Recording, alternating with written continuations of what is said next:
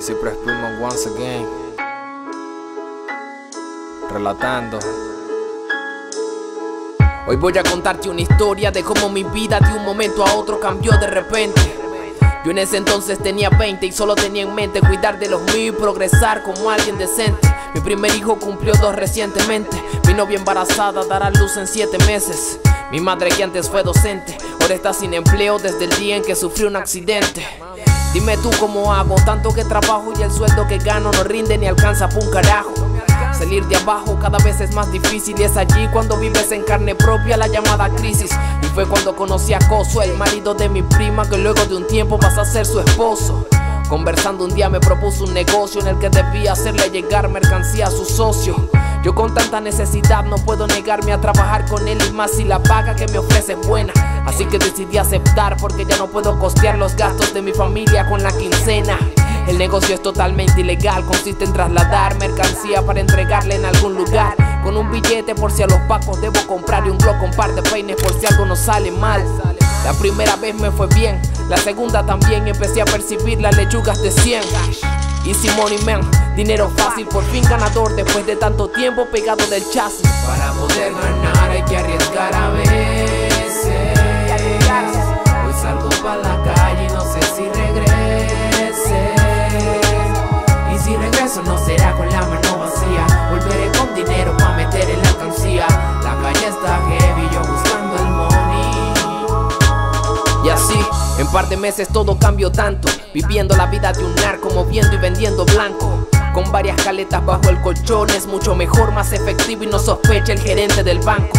Sumar y multiplicar, gastando lo necesario y el resto para guardar. Porque quizás no siempre correré con suerte. Puedo terminar preso muerto y antes que la cárcel prefiero la muerte. Mami, si el día de mañana llego a morirme, cuida a nuestros hijos y mantente firme. Dile que los amo más que nada en esta vida, porque cuando me toque no voy a poder despedirme. Y sé que no es honesto, pero es molesto que trabajes como un perro y que no te dé el presupuesto.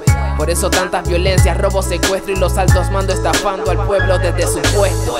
Para poder ganar hay que arriesgar a veces.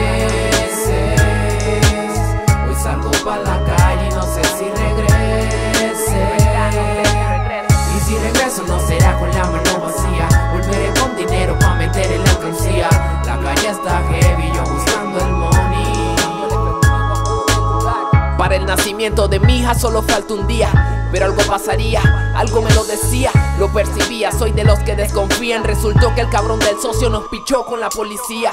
Yo corriendo como podía, intercambiando plomo con los pacos, disputando su vida y la mía.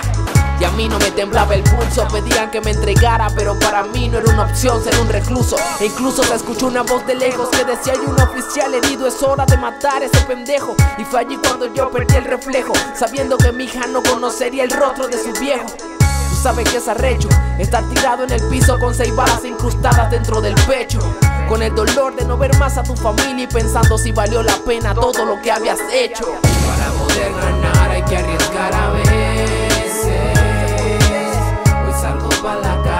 Sé si regrese.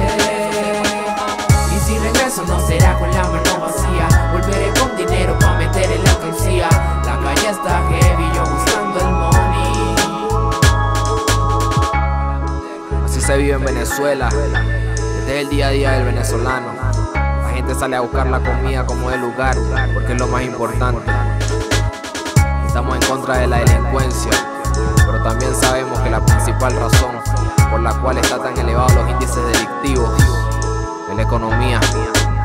Los altos mandos estafan al pueblo, se apoderan y obtienen lo que quieren de ellos. Llegamos a un punto en que nos convertimos en el país más peligroso del mundo. No estoy para nada orgulloso de eso. Sin embargo, esta canción va dedicada para aquellos que salieron a buscar el pan y perdieron la vida en el intento. Yeah, Pillman once again.